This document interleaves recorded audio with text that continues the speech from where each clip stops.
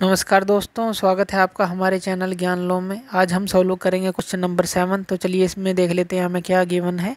A B C is a triangle तो A B C हमें एक ट्रैंगल दी गई है right angle that C C पर राइट एंगल है, यानी कि एक राइट एंगल ट्रैंगल दी गई है तो यहाँ पर बना लेते हैं।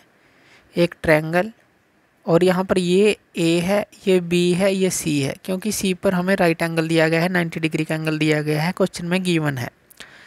A line through the mid point M अब एक मिड पॉइंट एम दिया गया है ऑफ़ हाइपोटिन्यूस ए बी इस ए बी का एक मिड पॉइंट है। मान लीजिए ये मिड पॉइंट मान लेते हैं एम तो ये दिया गया है। And parallel to B C B C के पैरेलल हम एक लाइन लगाएँगे, जो एक लाइन जाएगी इस एम से। तो हम एक लाइन लगा लेते हैं ये बी सी है तो इसके पैरेलल ये लाइन जाएगी, जो कि ए सी को डी पर कट करेगी। तो ये सारा कुछ क्वेश्चन में दिया गया है। अब हमें बताना है कि D is the mid point of A C अब देखिए, हमने पहले एक थ्योरम पढ़ी थी। अगर मान लीजिए ये ट्रायंगल है और एक साइड के मिड पॉइंट से आगे की तरफ़ लाइन जा रही है और आगे कट कर रही है, अगर इसको हम आगे की तरफ़ ले जाएँगे, यानी कि यहाँ पर हम क्या कह सकते हैं कि अगर एम मिड पॉइंट है ए बी का और M D parallel B C के बी है, ये पहले हमने एक थ्योरम पढ़ी थी। तो ये जो आगे जाकर इसको कट करेगी, फिर इसको आगे और बढ़ा सकते हैं। यानी कि ये जो डी होगा, जैसे एम ए बी का मिड पॉइंट है, इसी तरह से डी जो है ए सी का मिड पॉइंट होगा। तो यहाँ पर हम कह सकते हैं तो यहाँ तो पहली थ्योरम से ही हमारा प्रूव हो जाता है। यहाँ पर आप लिखेंगे कि एम जो है, वो क्या है? वो है मिड पॉइंट किसका? ए बी का।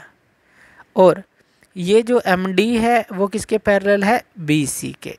ये चीज़ें गिवन है तो एम से जब आगे की तरफ़ लाइन बढ़ाएँगे तो यहाँ पर कट करेगी।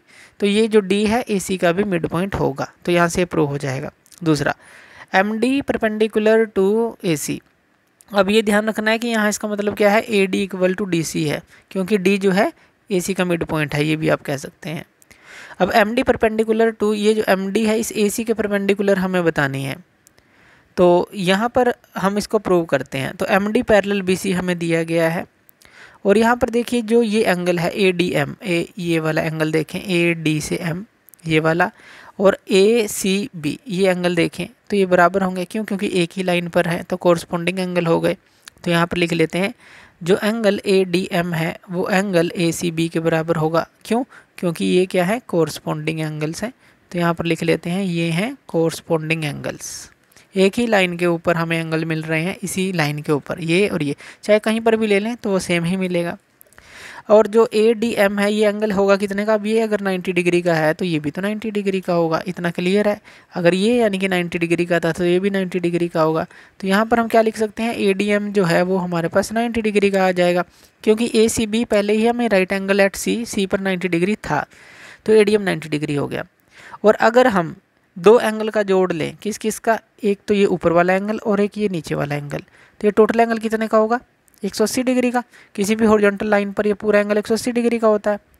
तो यहाँ पर अगर हम ये लिख दें angle A D M plus angle C D M तो वो किसके बराबर होगा 180 डिग्री के? देखिए ए डी एम और सी डी एम तो 180 डिग्री के बराबर होगा। ए डी एम हमारे पास 90 डिग्री है, यानी कि जो एंगल सी डी एम है वो कितने का आ गया?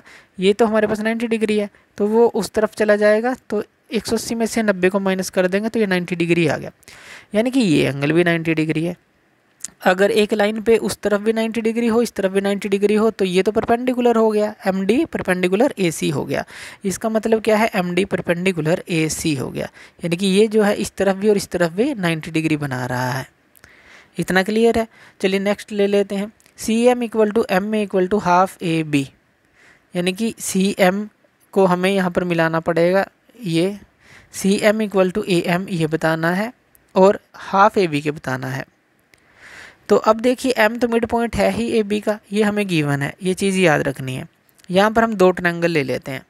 एक तो ट्रैंगल ले लेते हैं ए एम डी और एक ट्रैंगल ले लेते हैं C M D A M D ये वाले ट्रैंगल और सी एम डी ये वाले ट्रैंगल ले लें।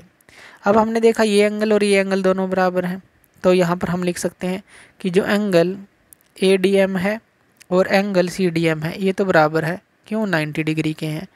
एम डी और एम डी इन दोनों में कॉमन है तो ये आ गया। उसके बाद ए डी जो है डी सी के बराबर है, ये भी हमने यहाँ पर ये निकाला था, देखिए। तो यहाँ पर आ गया A D equal to D C के बराबर। अब यहाँ पर देखें एंगल साइड साइड क्राइटेरिया से तो ये दोनों ट्रायंगल कन्गुरेंस हो जाती हैं। अगर दोनों ट्रायंगल कन्गुरेंस हो जाती हैं तो ये जो ए एम है सी एम के बराबर लिख सकते हैं। तो यहाँ पर ए एम जो है सी एम के बराबर लिख सकते हैं। एम जो है mid point of A B है, यानी कि ए एम अगर सी एम के बराबर है तो ए एम को हम हाफ़ ए बी भी तो लिख सकते हैं। A M equal to C M equal to half A B इसको लिख सकते हैं। और यही चीज़ तो हमें प्रूव करनी थी, ये वाली। तो इस तरह से इस क्वेश्चन को हम सोल्व करेंगे। तो ये एट्थ चैप्टर हमारा कंप्लीट हो गया है नाइन्थ चैप्टर आगे करेंगे।